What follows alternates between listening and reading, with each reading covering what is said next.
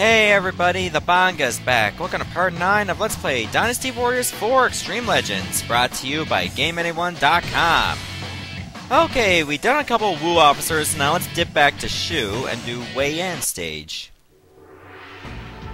In 234 AD, a showdown between the armies of Shu and Wei was about to begin at Wuzhang Plains. For this battle, Shu's Zhuge Liang insisted on a defensive strategy, but Shu General Wei Yan disregarded his orders and charged furiously towards the enemy lines. Wei Yan was often misunderstood, as his daunting appearance and callous demeanor often alienated him from friend and foe alike. Zhuge Liang proclaiming that he had an aura of defiance did not help matters either. But Wei Yan knew that his lord Liu Bei had accepted him into his camp because he respected his abilities as a warrior. Wei Yan would repay the confidence shown in him by the lord, but in his own way, no words were needed, only victory in battle. Okay, so for this, you're not allowed bodyguards, but items are okay. Alright, so I got the level 11 Meteor Strike, which is a level 18 Peacock Urn, 14 Nanman armor, 16 Cavalry armor, and level 19 Herbal Remedy, meaning I have good arrow and horseback defense, lots of HP, and very powerful charge attacks. So for that, I'm going to disequip or unequip the Peacock Urn. Probably put on, let's see, what would be good to have at this point? I think we're gonna go, well, I already got the Elixir on. Maybe I'll go with the Wind Scroll to increase my range. Now there are two ways you can actually win this battle. Defeat all the three Wei officers over there, which will trigger another Wei officer. You gotta defeat those three in two minutes to get it. Or, if you're too slow, then you have a different force to fight.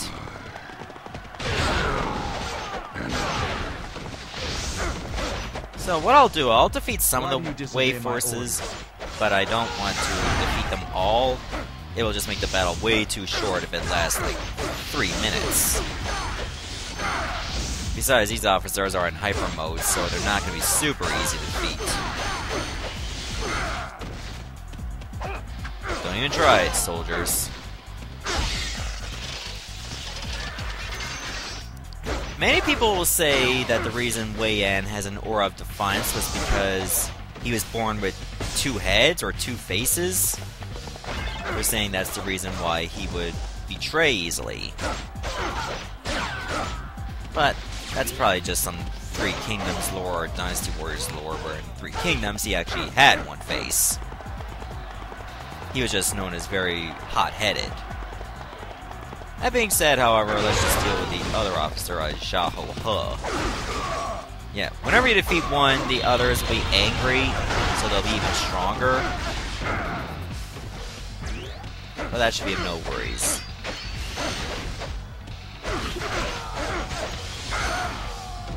Go. Maybe Secret of Orbs could have been good here as well. It's not needed.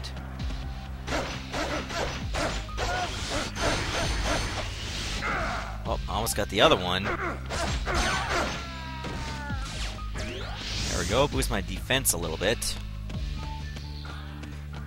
Okay, so I don't think I'm gonna defeat all three of them within two minutes. Two out of three ain't bad. Where's the other one, too? Oh, over there in that corner.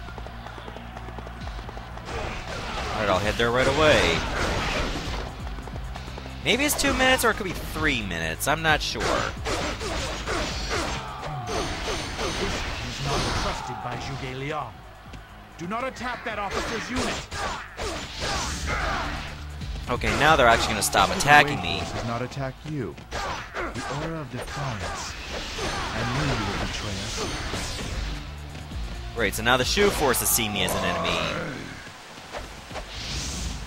Wei forces will run away. Now I gotta fight my own forces. Did it just start raining, or was it always raining? I don't know. Either way, it looks like I have to battle through Shu now.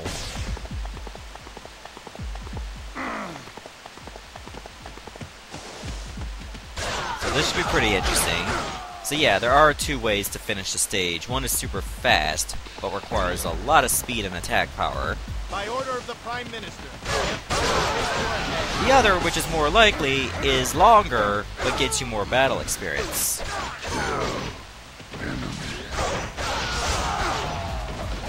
Alright, eliminate the Shu officers to prove your might, so just go for whoever you can. Oh, Guan Xing arrived. Okay, he's probably just over here.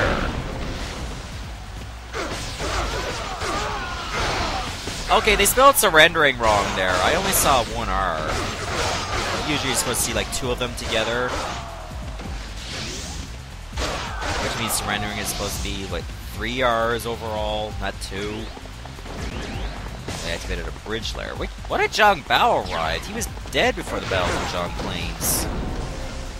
I think it was around the Battle of Chencang that he died. Or Mao Chi, I'm not sure. Oh, Jiang Wei showed up. He's gonna be in hyper mode.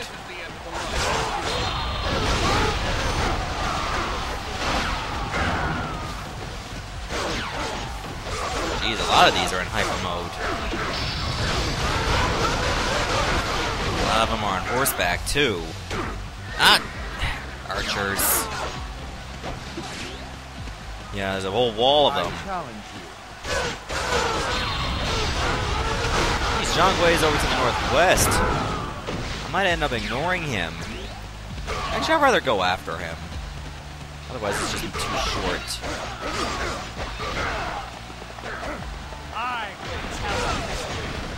There he is. He's going for me directly.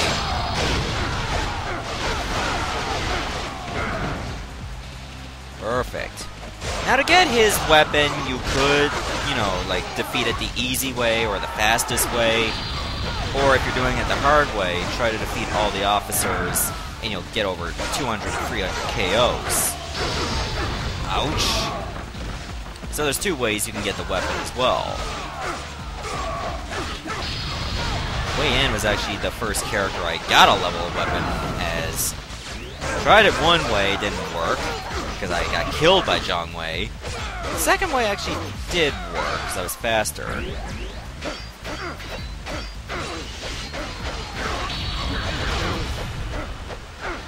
Jeez, I got three officers after me. Okay, make that two. Where did Jiang Wei go? Did I beat him? No, I didn't. He's... They're overlapping each other. In fact, they're super close.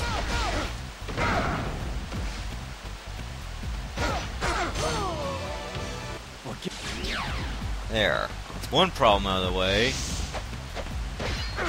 There's you.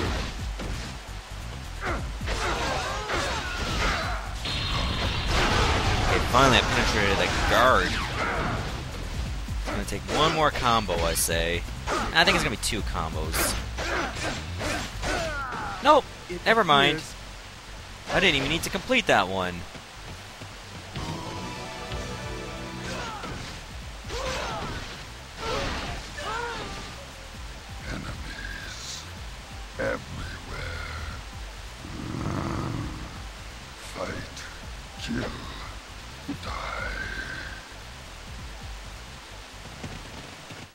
Wei Yan, it's all the same. They fight, they die. Surprisingly, I'm now on the Wei forces. Even though I didn't really join Wei. Did Wei Yan ever join Wei? I don't remember that part. It might have happened. Probably after that whole betrayal thing. So, anyways, enjoy the ending. Shu officer, born in the Yiyang region. Formerly an officer under Han Xuan, Wei Yan admired Liu Bei's charisma and ultimately betrayed Han Xuan when Liu Bei invaded his territory in Changsha. It appeared Wei Yan would finally be able to serve Liu Bei, but Zhuge Liang was distrustful of him and sought to have him executed. But at the behest of Liu Bei, he was finally allowed into service. After fighting in campaigns in Yi, Hanzhong, and Nanzhong, Wei Yan quickly became a valued officer in the Shu army. The northern campaign began, Wei Yan was eager to invade Chang'an, but Zhuge Liang insisted on a conservative strategy which Wei Yan followed until the showdown of Wuzhang Plains, where he was no longer able to contain his bloodlust. Wei Yan became a demon on the battlefield, cutting down enemy after enemy. All that stood in his way fell victim to his bloody rampage. After the battle, Wei Yan vanished. From Shu's standpoint, the moment he disobeyed orders, Wei Yan became a traitor, and he no longer had a place in Shu. Perhaps Wei Yan knew that as well. And there you go. So I'm going to stop the video here. Next episode, we're going to play as Sun Ce of Wu. See ya, everybody.